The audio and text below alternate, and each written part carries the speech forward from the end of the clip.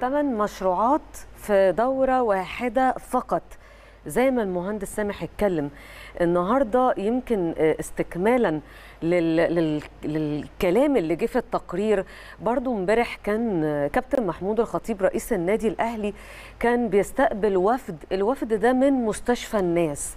عارفين حضراتكم مستشفى الناس والإعلانات اللي دايما النهارده خلاص يعني بقت كل الناس عارفة يعني إيه مستشفى الناس للأطفال.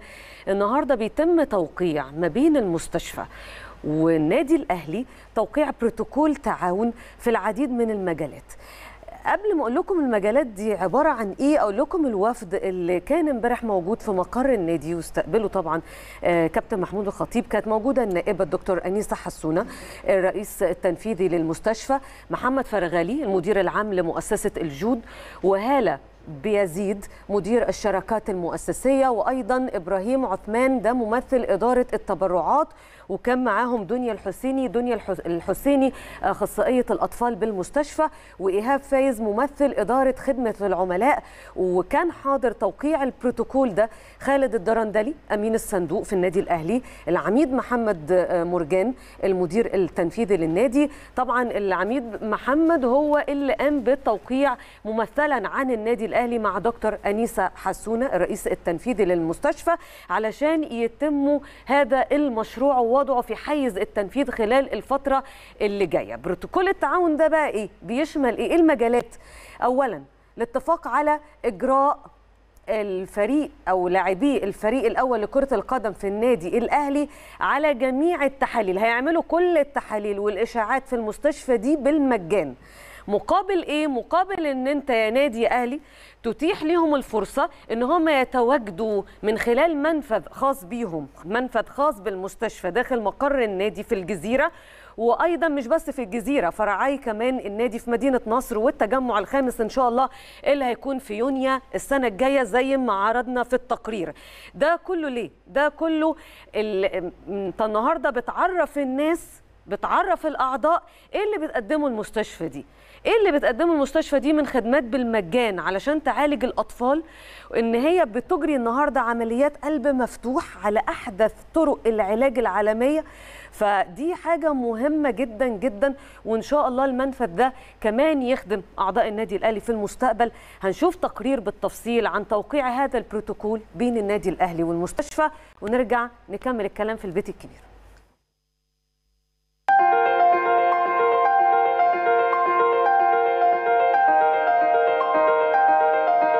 إحنا طبعا متشرفين جدا بوجودنا في النادي الأهلي نادي القرن اللي كلنا بنحبه وبنشجعه.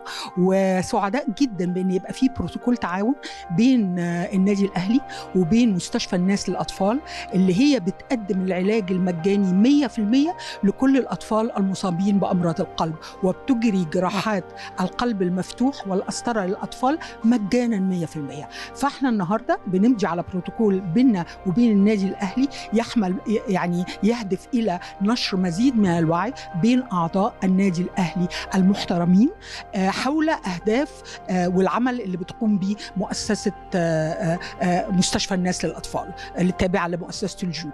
طبعا النادي الأهلي زي ما أنا اتكلمت مع الكابتن محمود الخطيب رئيس مجلس الإدارة وهو مش محتاج ألقاب يعني على قد إيه اهتمام النادي الأهلي بالأطفال وبالشباب وكل ما يحقق لهم حياة كريمة تتمثل بالنسبة لنا في المقام الأول في العلاج المجاني المحترم على مستوى عالمي.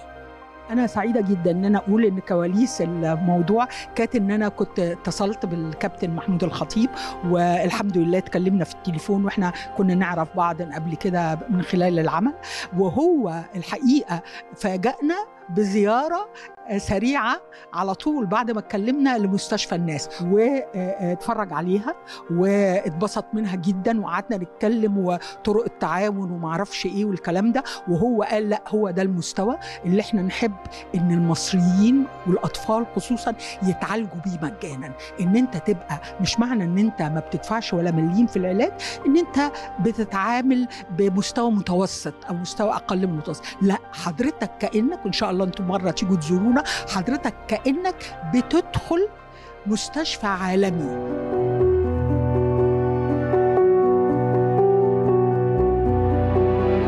إحنا يشرفنا إن الفريق الأول في النادي الأهلي يعمل كشوفاته وتحاليله مجانا 100% في المستشفى لأن إحنا عندنا أجهزة أشعة وام ار اي والحاجات دي مش موجودة في الشرق الأوسط كله موجودة بس عندنا لأن إحنا كنا حريصين إن إحنا نجيب أكثر حاجة متقدمة في العالم عشان الأطفال المصريين يتعالجوا بيها.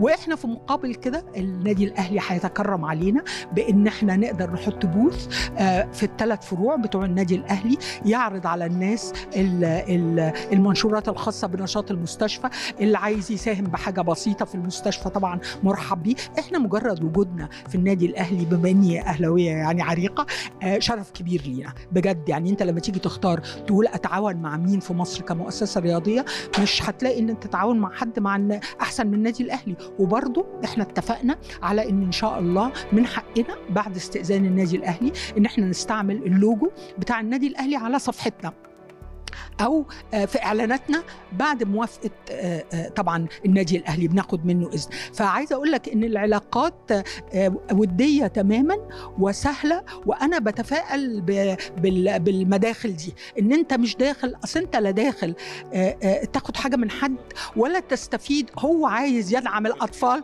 بالظبط كده. بالظبط كده. المسألة كلها في إطار الخير ويعني دعواتكم كلكم إن شاء الله إن المسألة تمشي بإذن الله يعني بنجاح شديد بإذن الله.